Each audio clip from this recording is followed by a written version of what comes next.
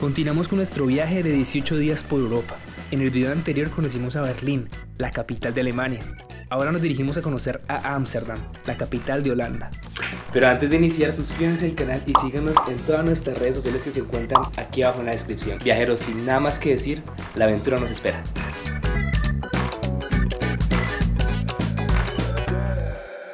Fuimos desde Alemania a Holanda en bus, desde Alexanderplatz en Berlín hasta la estación de tren Sloterdijk en Ámsterdam. Esta línea de tren es la más moderna que he visto en mi vida. Llegamos tan temprano que cogimos tren porque no había otra forma de llegar al hostal. Nos costó 3.2 euros, carísimo. El plan era coger tren hasta la estación Suite y luego coger bus hasta el hostal. Pero acá cometimos la novatada del viaje. En vez de ir al centro de la ciudad, cogimos un bus que nos llevó hasta el aeropuerto, hasta el aeropuerto. Y nuestro mayor temor fue que nos cobraran una multa porque el ticket era válido solamente por un tiempo limitado. Y como que ya nos íbamos a pasar. Llegamos muy temprano a Amsterdam, nos hospedamos en el hostal Animagie casi en el centro de la ciudad, un poquito cerca. Nos costó la noche 35 euros por persona en una habitación con 21 camas.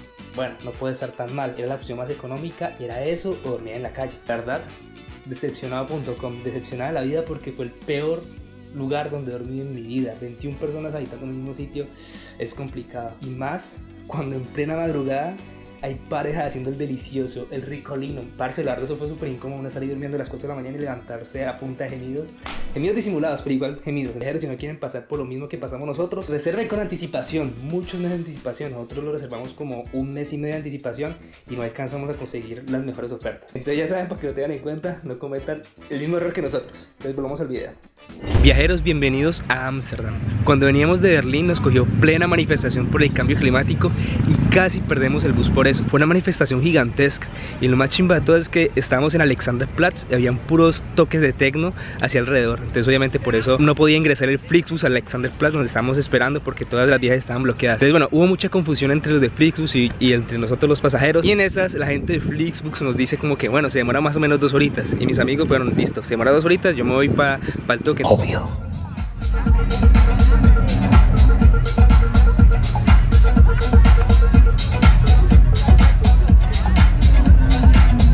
Me quedé ahí solucionando porque me dijo que supuestamente no iba a alcanzar a coger el otro bus que salía desde Hamburgo porque teníamos una conexión Berlín-Hamburgo, Hamburgo-Amsterdam. Cuando me iban diciendo es que no, los de Hamburgo vayan hacia allá. Yo ahorita que hago y tuve que buscar a mis amigos, los encontré después de un tiempo y luego fui donde la gente de Flixbus, seguimos un señor, llegamos hasta bus, nos montamos y luego nos dejó otra vez en Alexanderplatz y dijo, esto, esto va para Hamburgo y me dijeron, no, esto no, esto va para Leipzig y yo, ¿qué?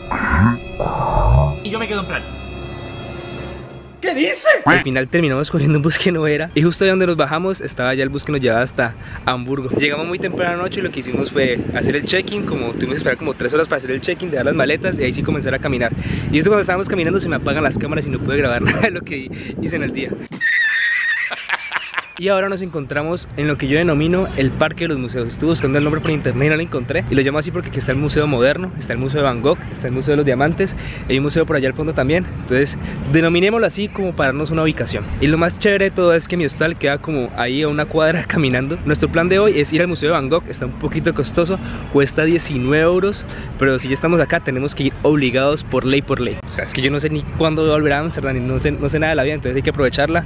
Es un poco costoso y vamos a tener que apretarnos con la comida y eso, pero vale la pena. No puedo argumentar nada ante esa lógica. Acabamos de comprar el ticket justo en la entrada del museo. Se compra por medio de las maquinitas y únicamente acepta tarjetas, no acepta nada de efectivo. Y para entrar te da un horario determinado. Por ejemplo, a nosotros nos dio el horario de 3 y media a 3 y 45. Si no respetas ese horario, baila, perdiste la entrada, así que tengan mucho cuidado con eso. Mientras esperábamos la hora de entrada, fuimos a dar una vuelta hacia el centro de Ámsterdam, donde se encuentra la arquitectura característica de ensueño de la ciudad. Atravesamos el Museo Nacional de Ámsterdam, el cual realmente no nos llamó la atención, pero sí cabe resaltar que la arquitectura era increíble y debe ser muy bueno porque estaba hasta reventar. Siguiendo con el camino justo por este pasillo había orquestas de música clásica increíble y todas las veces que pasamos estaba lleno llenísimo a reventar. Nunca vimos esos vacíos y ellos estaban ahí. Por otro lado, fue muy emocionante experimentar el ambiente de la ciudad que fue completamente diferente a lo que nos esperábamos. Personalmente me esperaba una ciudad más caótica y como tiene fama, pensé que desde el instante uno iba a ser una demencia en todos los aspectos. En fin,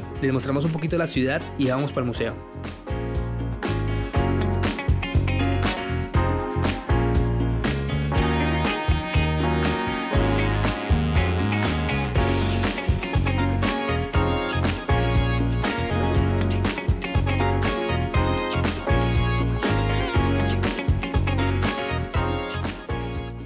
Entramos al museo y desde el inicio con su arquitectura ya nos está dando un espectáculo genial. Tiene varios niveles y en cada nivel expone mediante las obras etapas concretas de la vida del artista. No se podía grabar ni tomar fotos dentro de las exposiciones, pero no me regañaron al hacer estas tomitas fuera de las plataformas. Aclaración, aquí no se encuentra la noche estrellada de Van Gogh, por si tenían esa duda. Ese se encuentra en el Museo MOA de Nueva York. Pueden irse leyendo descripción por descripción cada obra o comprar una audioguía. Eso fue lo que nosotros hicimos y fue lo que nos pareció más recomendable. Me pareció genial este museo, pero no creo que sea para todo el mundo. La experiencia varía con cada persona. Al final yo ya estaba cansadísimo, pero una amiga estuvo re emocionada desde el instante uno y hasta lloró. Entonces ya entenderán a qué me refiero. Salimos del museo y nos adentramos a vivir la vida loca de la ciudad. Nuestro próximo destino fue el Barrio Rojo y mientras les muestro la ciudad quiero hablarles de dos aspectos muy importantes. El primero es el transporte. Una vez estés en el centro vos puedes caminar todo sin problema o puedes arrendar bicicletas que ofertas hay un montón. Desde mediodía a 5 euros hasta 72 horas a 17 euros. El otro aspecto son las normas que debes cumplir. No puedes fumar tabaco ni marihuana ni tomar alcohol en la calle. Solo puedes comprar los poderes en los coffee shops y las demás son reglas básicas de todas las ciudades, como no orinar en la calle, pagar el transporte público, etcétera, etcétera. Habrán tienditas que venden productos como galletas o brownies con poderes, pero no tienen THC, sino CBD, que te relaja pero no te enloquece, es decir, es la medicinal. Pilas con las normas. Vi cómo multaban a gente por andar fumando en la calle. Y finalmente llegamos al controversial y famoso Barrio Rojo de Ámsterdam. La verdad se me descargaron las cámaras justo en este instante, pero eso no importa porque hay una ley la cual no puedes ni grabar ni tomarles fotos a las chicas. Y esta ley más que todo es para proteger la integridad de las prostitutas. A pesar de que ellas se muestran y ofrecen sus servicios en las vitrinas con ropa sexy y sin ropa muchas veces, eso no te da ningún derecho de ir a grabarlo, no te da ningún derecho de tomarles fotos, no te da derecho de ir a maltratarlas con palabras o decirle cosas feas o negociarlas. Eso no te da ningún derecho a hacer nada de eso porque es un trabajo como cualquier otro, son personas y hay que respetarlas. Y para los que nunca han oído el barrio rojo, este es el barrio y la industria del sexo. Aquí vas a encontrar museos del sexo, teatros de sexo en vivo, y prostíbulos con prostitutas mostrándose en las vitrinas. Eso es lo que usualmente vas a encontrar acá. Hay demasiados de estos sitios. Aquí también van a encontrar restaurantes y barcitos. Digamos, el bar rojo en sí es pues para mí yo vi que era como más o menos como una calle larga donde estaba todo eso. Y el mayor atractivo acá es el morbo, el morbo de, de ver chicas desnudas, de ver prostitutas, de ir a teatros de sexo, de ir a museos de sexo, porque es algo único que no se encuentra en ninguna otra parte del mundo. Y la verdad me parece muy interesante y muy atractivo. Pues fuera de charla. Nosotros entramos al teatro de sexo en vivo. Nos costó como cada uno un euro. Uno entra como unas vitrinitas. Y en el centro, hay como un centro. Y en el centro están ahí la, la parejita y tin, el delicioso sexillo.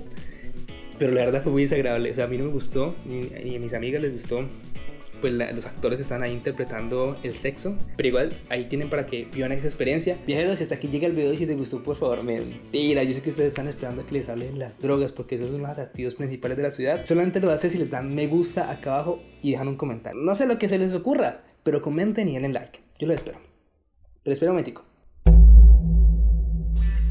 Listo pues, ahorita sí vamos a hablar del tema por el que se quedaron hasta el final del video. En el centro ustedes van a encontrar muchísimos coffee shops. Los coffee shops son los únicos lugares que tienen permitido la venta de marihuana, de hachís y otro tipo de drogas que tengan THC, o sea que te eleven y te lleven hasta la estratosfera porque digamos en las tiendas, como ya dije anteriormente, tiendita de barrio, donde venden recuerdos, ahí te venden es la medicinal. Entonces no te va a causar el mismo efecto. Eso puede ser como un engañados, por decirlo así. Los precios varían dependiendo del tipo de cosas que vas a consumir. No sé si por decir marihuana me desmoneticen el video, pero bueno, si quieres comprar WIT, cuesta de 8 euros a 35 euros. El hachís es un poquito más barato. También ven Space Cake o Muffins. Entonces ahí vos tenés una gran variedad de lo que puedas escoger. Vos puedes consumir dentro de los coffee shops, ¿no? O sea, vos no puedes ir a la calle y meterte los clones, no, eso está absolutamente prohibido. Entonces, los precios varían dependiendo del efecto que te ha producido. Entonces, una marihuana te relaja, otra te eleva, otra te da sueño, otra te quita el estrés y así. O sea, hay diferentes tipos de marihuana por si no sabían. Entonces, ustedes ahí pueden escoger. Eso hemos dicho, le van a dar una carta. Ustedes van a dar una carta como si estuvieran en un restaurante. Entonces, ahí van a decir, no, esta, esta te duerme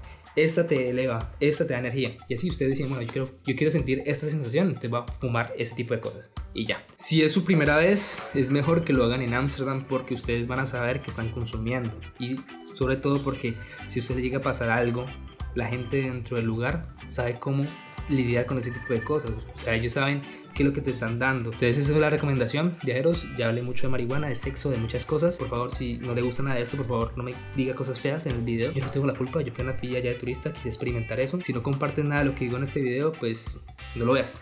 no lo recomiendes, nada, pero yo no tengo la culpa.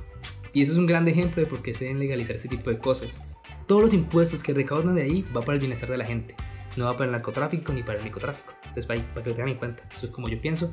Si ustedes no piensan igual que yo, por favor, no me odien, no me dejen comentarios feos, solamente pues abran la del video y no lo vean y ya. En fin, viajeros, lo único que tengo que decir es legalícenla y nos vemos en Bruselas.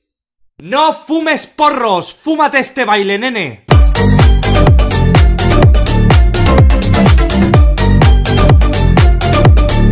Viajeros, llegamos a Bruselas después de haber estado en Ámsterdam y el clima está delicioso después de haber tenido ese frío horrible de Berlín y pues